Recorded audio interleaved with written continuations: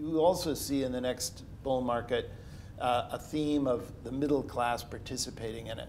And that's probably not what Yeah. we talked about in the 90s. That's one. That's one in meetings we had uh, in New York. Uh, what, what day were we in on the road all day? Tuesday.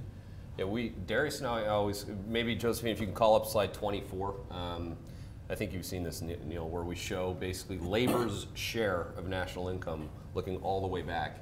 And I keep saying, you know, from here, what you might want to do if you believe in mean reversion, i.e., the labor share going back to as you as you can see for people that are watching this now, you could see in the 1980s and 1990s it was a much more fair fight. Yeah, you'd bounce around around the, the, the average there, but you would you'd have significant periods where labor uh, would have a good run. So I keep saying you'd want to be long poor people. Uh, and you'd want to be short rich people, and I, I don't mean to sound cavalier in No, saying it like that, but you want to be you want to be long those companies that serve the middle class. I mean, Yep. you know, you're thinking more of the Walmart yeah, kind of that's thing. exactly And- that's General no, Mills, Walmart, Totally, or totally. And I McDonald's. and and here's what's frightening about that chart is that if you think about a mean reversion in the labor share of GDP, simultaneous with a mean reversion in kind of the long-term PE ratio. Oh boy, That's Oh, boy. like a double whammy coming at you. You're going you know. too bearish on us there now.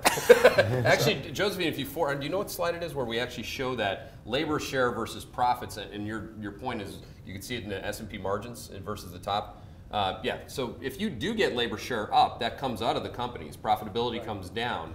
So the way that you get, I think the next slide, Josephine, might be multiple compression. You know, there's a question. Uh, there's one chart that's in there where we talk about the potential for multiple compression as profits decline. You know, the thing about stagflation, like when people in the journal are asking about stagflation, as you know, the, the most representative period of stagflation was in the 1970s.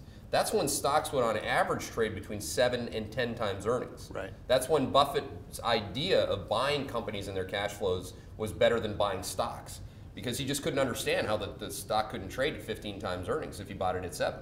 Right. If it was always supposed to go to 15 times earnings. But stagflation really, that's the point. Your costs are going up and you don't have any pricing pressure or demand to offset that. And this is this is the thing I think when you look at the people talking about uh, heating up of the labor market, if that's the cause of if well, let me kind of if then, but if we are seeing, which I, I don't know if we are, but if we are seeing some heating up in inflation, if to some extent that's actually being you know cost driven because of you know the labor market beginning to reach its boundary, um, that's that has a lot of warning signs uh, for equities because that I mean if anything gets that labor share back, that's it, right?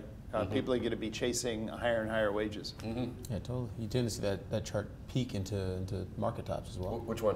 Uh, 24 labor share of national income. Oh, right. Tends to spike into recession. Right, it's pro-cyclical. Yeah, it's procyclical. Okay. Exactly.